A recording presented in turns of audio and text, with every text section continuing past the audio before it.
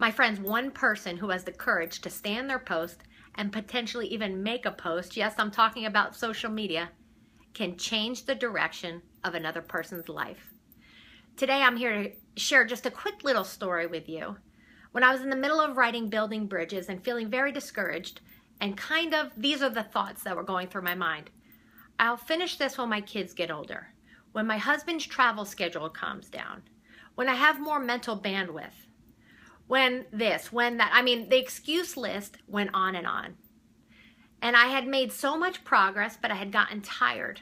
And I was at that point when I was rereading things and thinking, this is ridiculous. Nothing's making sense. No one's ever going to buy this book. This is ridiculous. Started second guessing the whole project. Then I saw one post, Jon Acuff, I have the picture in this post. One picture propelled me forward.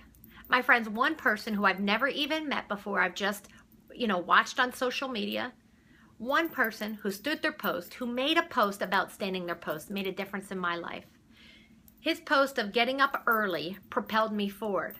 I thought, this guy is traveling. He has two kids too. If he can do it, why can't I too?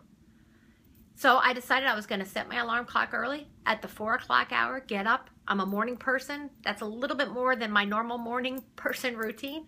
Get up early and make my dream a reality. My friends, God planted a big dream, a big purpose inside of you. And I hope and pray you propel forward. And perhaps it's because one person had the courage to stand their post. My friends, I want to tell you this.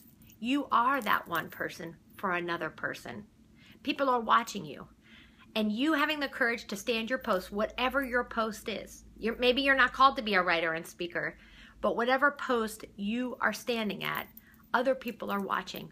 And your courage and commitment to excellence, not perfection, remember perfection's off the table, can propel another person forward. I know one person's post who I've never met made a difference in my life. I have now held my paper book building bridges in my hand. My friends, stand your post, stand it well, and if a God calls you, make a post, a social media post.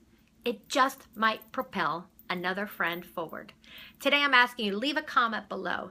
Think about some of the past people in your life that made an impression on you. The reason I want you to leave a comment below about what specifically that person who stood their post made on you is because I want to use this time in this space to help other friends be propelled forward with different ideas.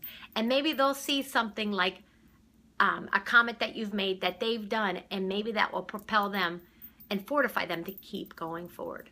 One post of seeing someone having the commitment to wake up early propelled me forward. My friends, your life matters and you're impacting more people than you may even be giving yourself credit. Go forward, stand your post courageously, and if God calls you to, make a post about it too.